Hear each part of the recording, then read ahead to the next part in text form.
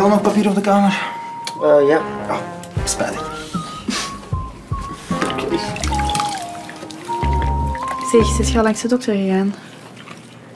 Eh, nee. Oké, dan maak ik nu een afspraak bij de mijne. Maar het gaat al beter, oké? Ja, dat zie ik. Zo, ik meen het. Ik kan het zelf... wel- Wanneer waren jij van plan mij er iets van te zeggen?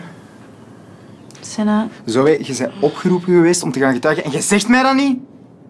ja, Ik, ik wat? Ja. Zoe! ik wil niet gaan getuigen, oké?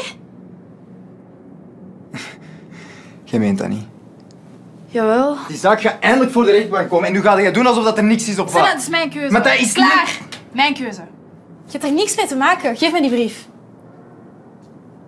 Geef mij die brief.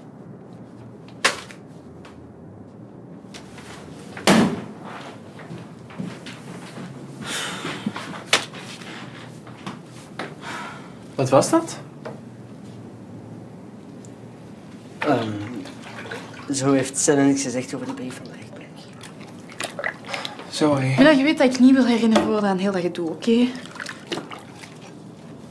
Zo, hé. Die eikel heeft niet alleen bijna je relatie met Senne opgefokt, maar die heeft naaktfoto's van je genomen. Terwijl je aan het slapen Ja, was. dat weet ik. Hij heeft je geblackmailed tot seks. Ik bedoel... Het is hem niet gelukt, toch? Dus wat is het probleem? Nee, bij jou niet. Maar wie weet bij wie wel? Echt, dat soort gasten, hè? Die weten gewoon dat hun slachtoffers niet gauw naar de politie gaan. Omdat die zich schamen voor wat er is gebeurd. Toch, Robbe? Wat? Heb ik gelijk of niet? Jezus, Milan, hou mee buiten alsjeblieft, oké? Oh, ja, jij vindt ook dat je dit soort dingen gewoon maar mag laten gebeuren? Weet ik veel, ik heb er helemaal niks mee te maken. Echt.